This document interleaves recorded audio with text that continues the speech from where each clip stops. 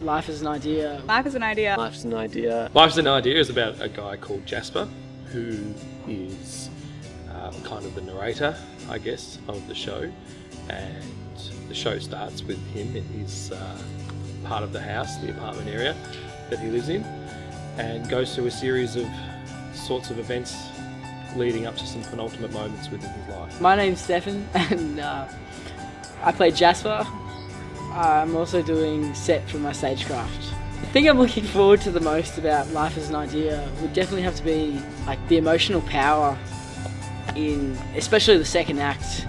It gets pretty serious. Uh, you know, hoping to make some people cry.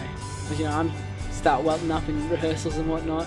The biggest struggle I'm going to face playing Jasper is probably once again the emotional power. I mean, to to get it right, you got to keep it pretty serious face. In Life is an Idea, I play two characters. The main one that I play is Jessica, and they're both the love interests. The weirdest thing I have to do might be singing sporadically, like in the middle of everything.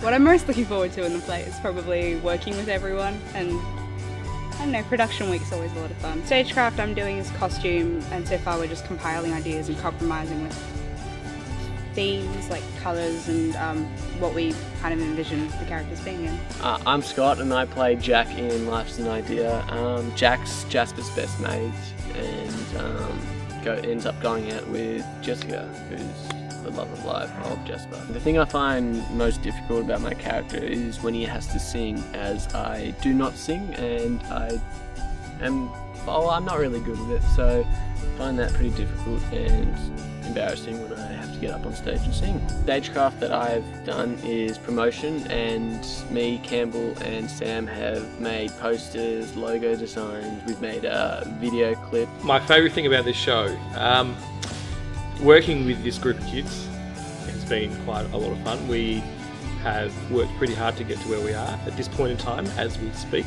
we are running the show, which is very exciting. Uh, the set is built. But I guess what I'm enjoying most is just watching young people develop. Look, Life's an Idea is a, a very big script. It's a challenge for these students, and I reckon that if you come along, you'll really enjoy it. So um, I hope everyone comes and sees it. It's uh, and more than anything, just to support the group of kids that put this on. They're, they're working really hard, and I'm proud of them. it is definitely going to be a great one. Uh, should definitely come watch because you get to cry.